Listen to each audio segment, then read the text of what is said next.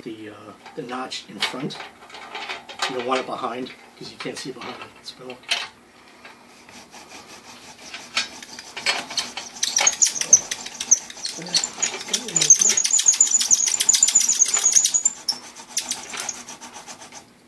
You hear the sound change?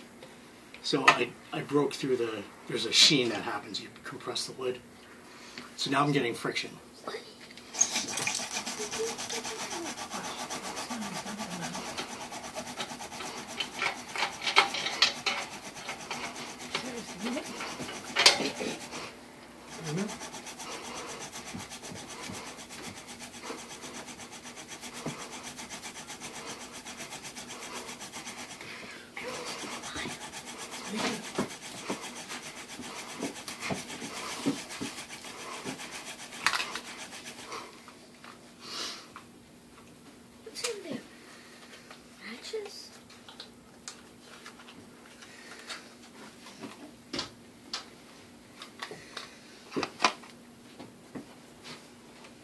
Bugs. Did you get it? Or do you think you got it? Yeah, on the ceiling. It looked like, looks like a lightning bulb, doesn't it? There's one on the ceiling. Look at that, buddy. It's turning. He made it happen with his mouth. There we go.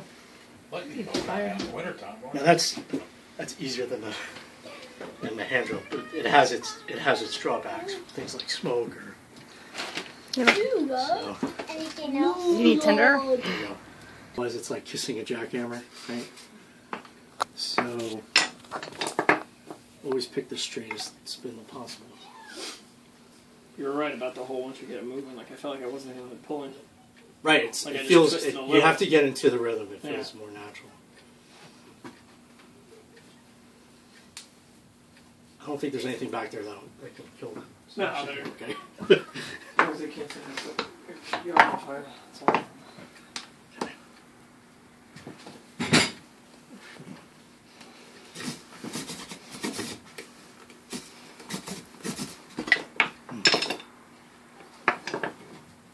Now the reason why, and I should explain this, the reason why the hickory or, or something a little thicker is preferred is because it won't bend in the middle. But when you get something that's a little bendy, try to keep it near the bottom.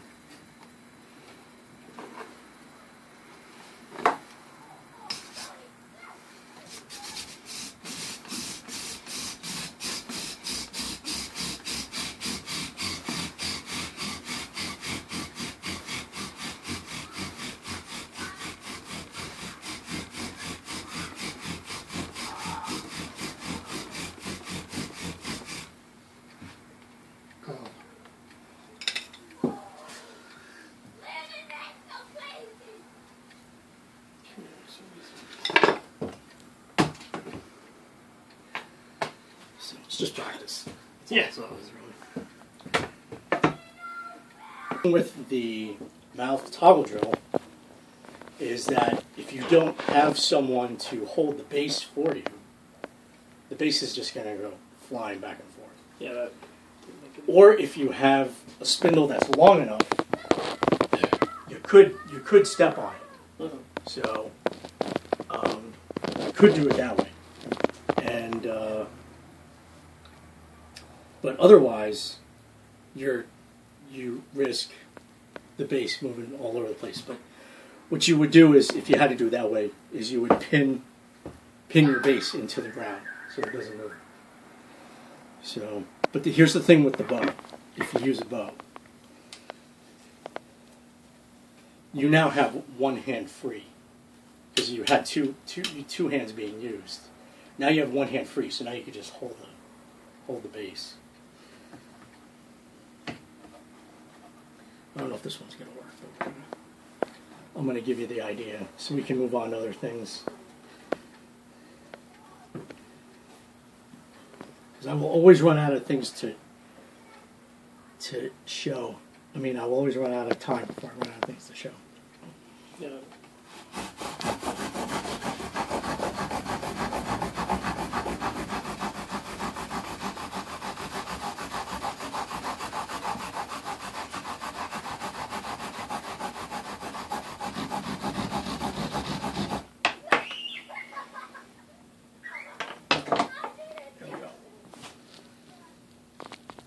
One's Oh. as you go up in devices, technically everything should be easier. Soto's basically a giant yucca. These are this is Soto. This is a section of Soto. There's a piece of Soto. That's Soto. That's Soto. These are Soto. And this branch is uh, what you do is you carve it into says this. You carve it into a blade type shape.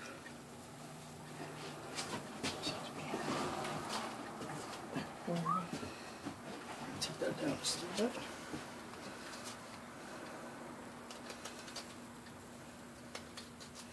You, that brings you to cool stuff, starting fires and playing with knives and stuff. No. So you learn the right way to do it. You go into scouts, you could do that too. Okay. Let you get your feet on, buddy. That's the fun part. Get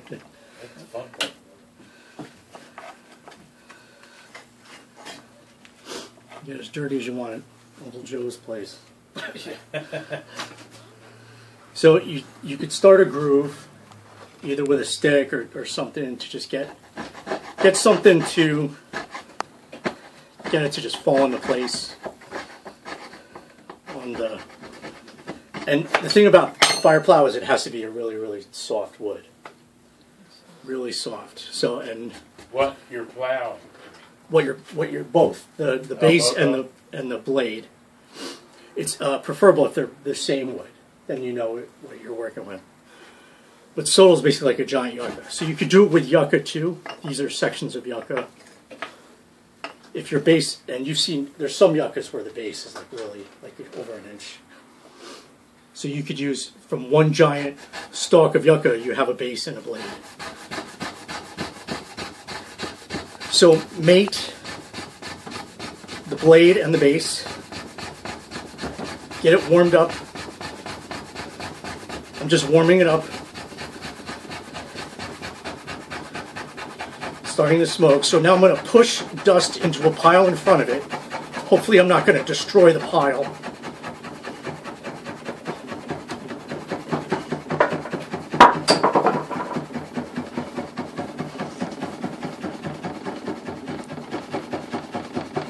Which I think I'm doing.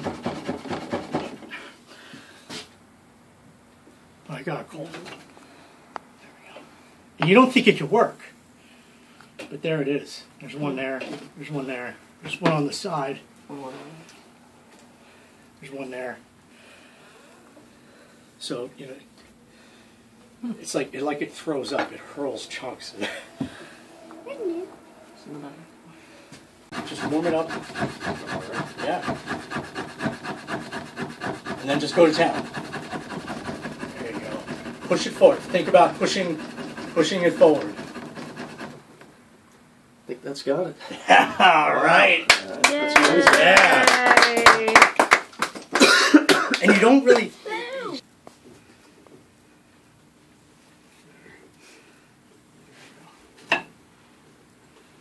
Just step right up. Bring up your fingers.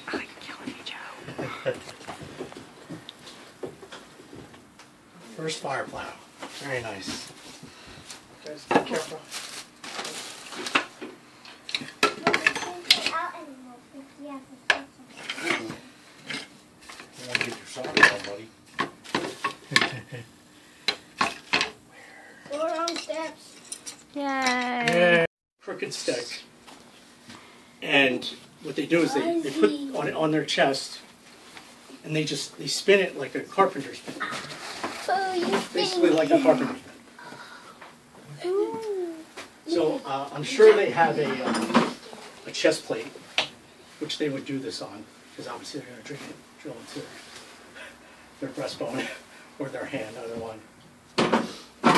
Now the trick to this is though is that it's very hard to find a perfect crooked stick Hi, Landon. that's not only the wood that you're looking for, but it's not going to give out because the pressure doesn't go straight down.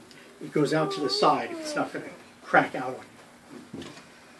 So, um, but here's this is the only drill that I know that breaks the law. Not, I don't know if it's a law, but it's a guideline to go back and forth.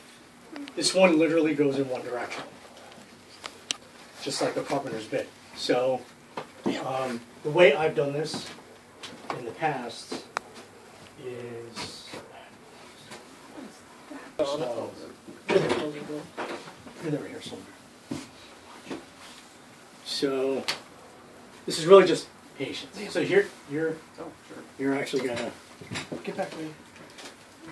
Now you can cheat on this one, in that when you get too tired with one arm, you switch arms. Mm-hmm. So you can. So basically, you just keep going until. But we're gonna. We're gonna help you out. Too. We're gonna- gonna fill that notch too a little bit. okay. And you just keep it going.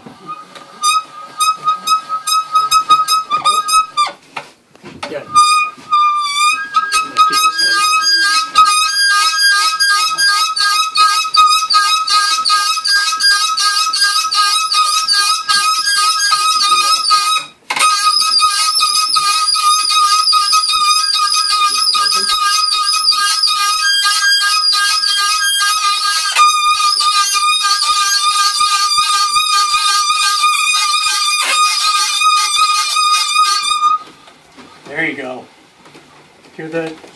Sound change?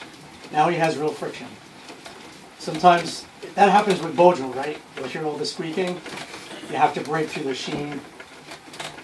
Keep going, keep going, keep going, keep going.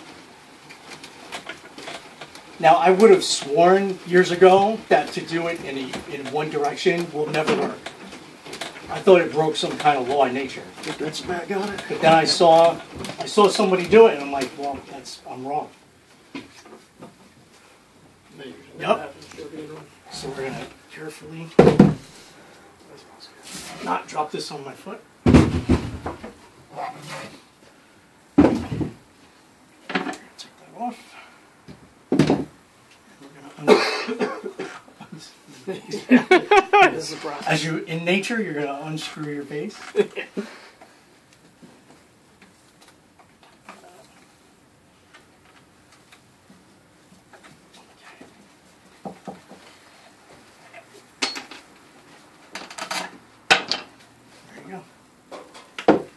imagine it would have been easier with less of an offset. Uh, you know, I didn't feel like Do you even see that? The trick is just getting it started. Started? Yeah. To get Maybe Did even take see some. into a rhythm. That's why I have the braces on the end.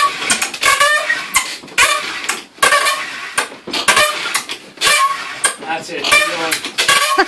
Get a rhythm. Get a rhythm.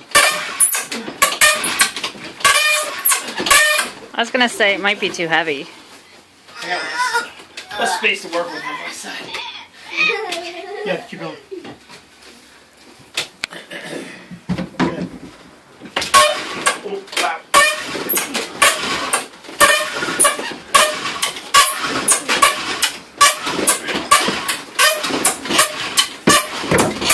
Alright, keep going, keep going. Okay, so the, the spindle is a cedar fence post, but the, the reload is a soda. Is a two and a half inch diameter soda. What's that going to be, about two and a half, three times? How, how many times per day? Okay. That's a good question. Hang it Yeah, maybe it's Maybe at least three. Okay, okay. What's the matter? Smoke.